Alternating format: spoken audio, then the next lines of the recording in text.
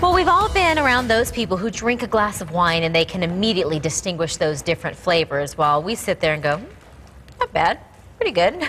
Well, Justin, the ambassador of wine education from Arizona Stronghold, is here to explain how it is that those folks are able to go, oh, I taste the woody, I taste the nutty, I taste the, the fill in the blank. Right. Because I do not have those skills. Well, you do because you have a nose and you have a palate, but you just haven't trained it yet. Oh. Um, and one of the things that, that helps is to know that those flavors actually are in the wine. It's not in our heads only. Okay. Um, so, so then you're not embarrassed to go, does it have whatever? Because, Right. you know, it, it is there. Or don't be embarrassed to say what you smell. If you smell apricots or linoleum or something odd like that, whatever you Okay. smell actually is in the wine. Linoleum? So don't be afraid. Absolutely. Um, there's all kinds of uh, synthetic, inorganic uh, materials that flavors of those can be found in wines, such as rubber bands.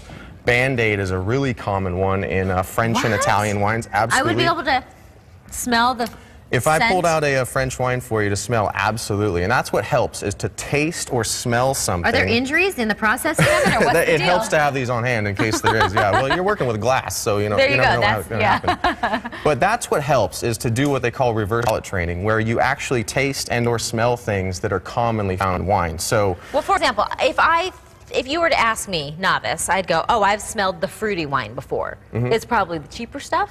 No, absolutely not. Uh, But the, yeah. the priciest wines in the world smell and taste like strawberries and chocolate. Absolutely, but it's they're more balanced and they're more accentuated and they're a little more obvious than say some other wines. But what's what cool raisins? to know Do you smell raisins? Absolutely, especially in dessert wines, white dessert wines like sauternes, um, absolutely golden raisins, honey components.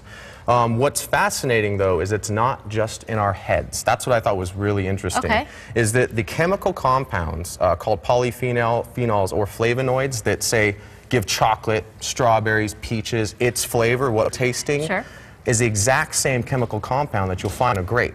So you're tasting the exact same thing in a wine. So it's not just something we're kind of imagining. It's actually there in a chemical form. It, it is there. So is there a is there a deliberate um, method in putting the combinations of anything from band-aids to strawberries into the wine? Not It's just kind of necessarily. a byproduct of. There's things you can do, but it's all grapes. The- It's all grapes. There's no, um, some very, very cheaper wines will add essence of flavors, but for the most part, all of our wines, uh, most of what we find on the market is just grapes. And what's interesting about a grape is, say a strawberry is only going to taste like a strawberry. You know, you put 10 strawberries down, some might be a little sweeter, some might be a little more tart, Right. but they're going to taste like strawberry.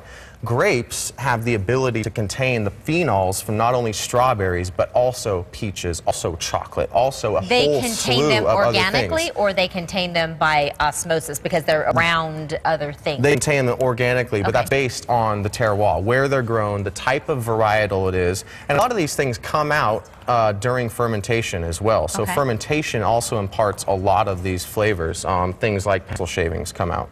Okay, so let me ask you this, Dustin. Now that you've told me that it's okay to say, this smells like Band Aids, I can smell the Band Aids in it. Right. If it's a French bottle of wine. Right. How do you begin to train your nose and your palate to distinguish those Yeah. flavors and those scents Great, more great acutely? question. Um, well, first, I mean, like I said, you whatever you smell, you smell, and don't be afraid to say it or taste it. And if all you smell is wine, you put it up, it smells like wine. That's okay too. Okay. But uh, I would suggest getting a wine that you know and that you like. And then doing a little bit of research online, maybe to go to that wine's website and look for how they describe the wine. If they say it tastes like strawberries and blueberries, go get literally some fresh strawberries, some fresh blueberries, and taste those before you drink the wine. Taste it, smell it, and then smell and taste your wine. And you'll kind of put two and two together. Will it it's a lot enhance easier. the flavor by uh, tasting a strawberry before? Like with champagne, they always say "Dr- take champagne and have Well, and that's a difference between pairings. There's a difference between a pairing, like a what this wine goes good with this thing, Gotcha. and this actually literally tastes Tastes. like this. Okay, So, okay. Uh, but both of Now- both ways are fun. Does being able to recognize those flavors enhance the flavor on your palate, or is it really just kind of like a, I don't know, like a hobby that you're able to Well, it's both. them? I mean, I would say the more you can get out of a bottle of wine. If you spend $50 on a bottle of wine, you want to milk that for everything you can get, Right. right? You want to get as much flavor as you Right. can. Even if you're spending 10 or $20, you know, you want to get everything you can out of that wine.